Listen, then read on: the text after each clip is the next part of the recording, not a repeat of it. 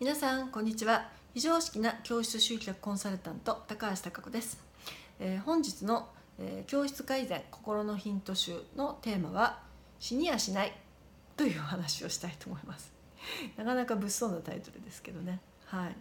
えー、最近ですねまあ背中を押す意味でなんですけれどもまあ、いろいろな施策とかをクライアントさんとね話したりとかこういうことをやってみようかとかってねいう話をすると、えー、でもそれってうまく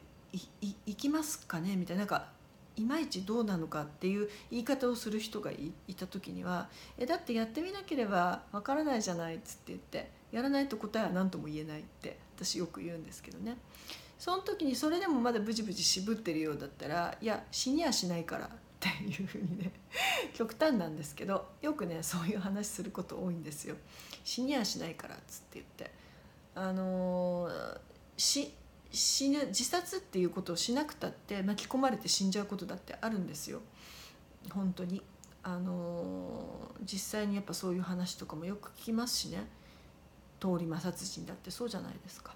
だからチャレンジしてみることでそれこそ命がけでねやんなきゃいけないチャレンジだと若干躊躇あるかもしれないですけど教室運営の施策においてチャレンジレベルでは死にはしないですね。大概。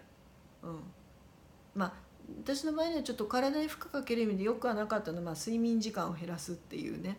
あのことをやっちゃったことある今はなるべくそれはしないようにしてるんですけど例えばそれを3時間睡眠にすれば時間をかけてやればできるかもみたいなことはやったことあります。まあ、これは、まあ、ある意味死に近いようなことなのかもしれないですけど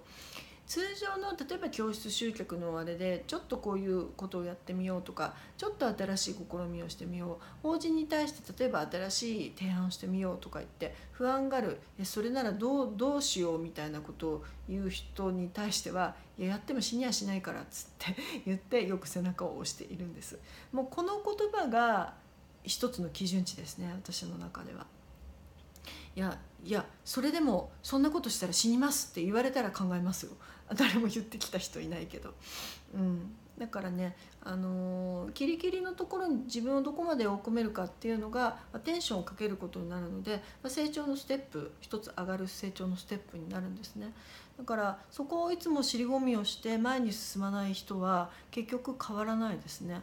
あの世界を変えるっていうか自分の環境を変えるっていうのは人間って慣れ親しんでるその自分の環境を変えるっていうことに対する抵抗っていうのがすごくね多いものらしいですよ。同じルーティンの変わらないもので、えー、自分のね生活が変わっていかなくてうまくいくっていうのを好む人が多いからです。だからまあ私はもともと気質がフロンティア冒険者開拓者なので新しいことをチャレンジしていくっていうのは躊躇ないタイプなんですけれども、まあ、それによってだから早く何か新しいチャンスを手に入れたりとか人がやってないことをやることで、まあ、マーケティングとかビジネスの用語で言うと先行者利益っていう言葉を言うんですけどもやってない分失敗っていうかうまくいかないこととかもね多かったりするんですけれども、まあ、その分、まあ、労力若干少なめで、まあ、大きな利益を得ることもできるっていう場合もあったりするんですね。だからあの遅くなればなるほど機械損失になる可能性は高いので最初のうちにある程度どれぐらいできるかっていうのも一つの基準になるのでそこでスピード感が鈍ったりとかやらないっていう選択肢をそのヒントがあるのにですよやらないっていう選択肢を持つっていうのは非常にもったいないですね。でやっぱこんな例もあるんですちゃんとそういう形で打ち合わせをしてて本人がやりさえすれば多分うまくいく予定だったりすることとかねあるものがあって私提案してるのがあるんですよ。だけれどもやっぱり同業他社さん違う方がですねそのコンセプトほぼほぼ似たようなまあだから思いつくようなものっていうのは他の人も思いつくっていうことですよあとは早いか早くないかだけで。ね他の方がやっちゃったわけですよ。そしてその後にじゃあその人がやろうかっていうことになったら無理ですよね2番煎じになるし、まあ、無理じゃない作り方もできなくはないですけれどもあだから早くやればよかったのにって思ったりすることとかもたまにあったりします。だからあの速度感がどのみち必要になるのでそこに躊躇っていうのはもちろんよく考える施策をよく考えるっていう必要はあるんですけれども躊躇はいらないですよね 基準値は死にやしないっていう そこです。はい、死にそうになることは止めますよさすがに。うん、だけれどもその基準で対外教室のことをうんぬんはできたりします。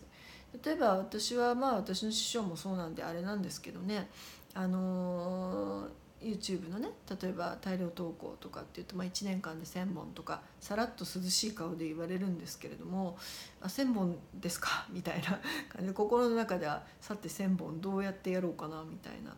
言ってるってことはそれができると思われてるんだろうと思うしやるべき案件なんだっていうふうに言われてるから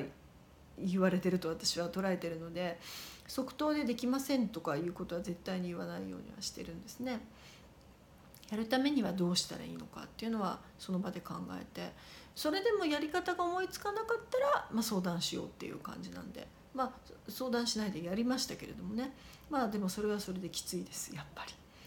だから例えばね私も私のクライアントに YouTube1000 本っていう時もあるし言わない時も違うなんとかこれぐらいとかって言うと「へえ」とかってね言う人とかもいますけれどもあのやそれはっていやそれはっていうのはそそれ難しい？とかって言うと、まあ、言い訳とかが出てきますよねこれとこれとこれとじゃあそこをこう詰めてこうやってこうやってこうやったらできるんじゃない？とかって彼に言うとああみたいな。あの心のブロックの部分とあと自分の使い方が下手で、えー、きっとそういう回答が出る場合と何通りかね種類があったりするんですけどそういう話になったりすることもあったりします。だからあのまあ飛び込んでやってみて修正をかける必要がどのみち絶対にあるので経験値としては必要なんですよね。だからまずはやってみるっていう感覚がある方があ早くねうまくいくんですよ。うだうだ考えてるより。だからまああとは何だろうな一人の頭の中でうーだかーだって一生懸命考えて悩んでるよりはそういう答えを持ってそうな人を探してですね質問してさっさと解決しちゃった方が多分早いと思います。なのでうんとそうですね、えー、一つのこう基準値としては大概のことはできちゃうっていうことを要は言いたかった。だから躊躇なくえー、まずはねやってみるっていう姿勢でやられると、えー、いろいろと教室も変わっていくしご自身も変わっていくのではなかろうかというふうに思います。ご参考